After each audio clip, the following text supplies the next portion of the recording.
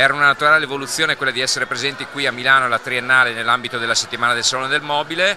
E oggi abbiamo questa scultura, perché di questo si tratta, è una scultura che eh, rappresenta i futuri interni dell'X90 e delle future eh, macchine Volvo. E, e, quindi sì, un connubio importante perché il design d'ora in avanti, ma anche nelle vetture già presenti in gamma oggi, sarà un, un asset molto importante per Volvo. È una scultura, è una vera e propria scultura, ha fatto il giro del mondo, oggi siamo molto contenti di averla qui, eh, rappresenta in, in forma in, eh, a uno a uno quello che saranno gli interni della nuova XC90 che d'altronde abbiamo già svelato a, a, Ginevra nel Concept Estate e quindi oggi averlo qui è, è motivo ancora di orgoglio anche questo.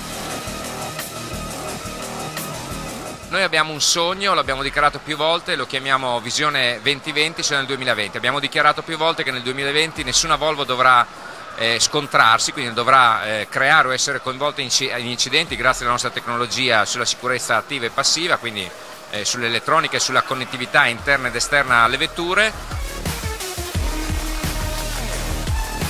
Allora, nel corso degli anni ovviamente il design ha seguito molto le mode, no? siamo partiti eh, negli anni recenti da vetture estremamente filanti, oggi vediamo vetture particolarmente scolpite che hanno delle linee importanti ma che scolpiscono la carrozzeria. Io credo che il futuro sarà comunque di questa tipologia di vetture, quindi il bello avrà sicuramente la, ehm, diciamo la, il sopravvento eh, sulla necessità eh, design, eh, in cui era costretto il design, cioè quello di riuscire a creare delle vetture che impattassero meno sull'aria, quindi avremo più possibilità di produrre delle vetture belle. Questo grazie alla tecnologia che ci permette oggi addirittura di fare viaggiare motori completamente ad elettrico.